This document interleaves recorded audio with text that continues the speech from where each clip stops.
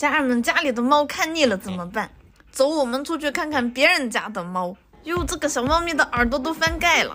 哇，这个是布偶小时候，一只好像看淡了一切的缅因猫。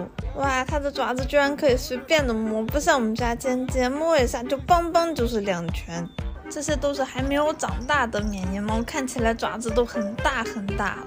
哇，这个猫它好小一只，还是个宝宝。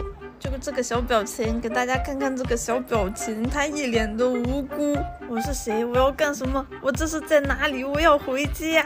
这个黑色的猫的鼻孔好大，感觉别人家的猫都挺可爱的，但是回家了就会发现自己的猫更可爱。这个就是我自己养的罗基猫，它它怎么就糊成这个样子？这两只猫是捡的，所以也不怎么好看。啊，家人们，这个好看吗？这个可是我花了八万块钱买的。离近一点就会发现它其实很好看，非常的漂亮。哇，拜拜。